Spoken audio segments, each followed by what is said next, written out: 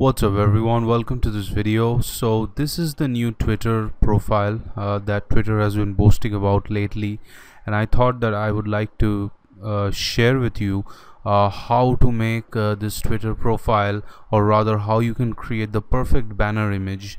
Now, I've been working on this banner image for my new website and uh, while working on it I found out a few tricks that I would like to share. As a matter of fact I created a PSD for you uh, this is the PSD and I'm gonna share this with you. This is exclusive because I haven't seen anything like this on the internet because what Twitter says is this area is 1500 pixels by 500 pixels. Now what happens if you just do a PSD file for 1500 pixel by 500 pixel is that some of the text at the edges may be left uh, left out of the screen. So how do you fix that? You just follow my guide in this PSD so basically the entire PSD out here itself is 1500 by uh, 500 pixels. Now what I have done is as you can see these lines in the outer edges well these are what you call the cutoff areas. Try to avoid uh, any text or important messages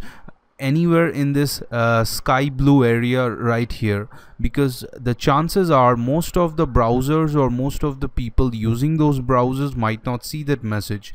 As a matter of fact uh, try to concentrate all uh, your you know the important messages in this main content area. You may extend some of your messages for the banner or something you want to highlight in the extended content area but the main content area should be where you focus the most and please keep in mind while doing so of this profile picture area because what Twitter does is if I just go back to the browser you have this profile picture that kind of overlays on top of uh, your you know the banner image uh, for your twitter cover. So what you need to do is you need to uh, concentrate and make sure that nothing uh, important comes here because if it does then it will not be displayed and it will be hidden by your profile picture and I took like around uh, 30 minutes 40 minutes testing this out and uh, this is working perfectly. So what I have done is I have added a download link right below where you can go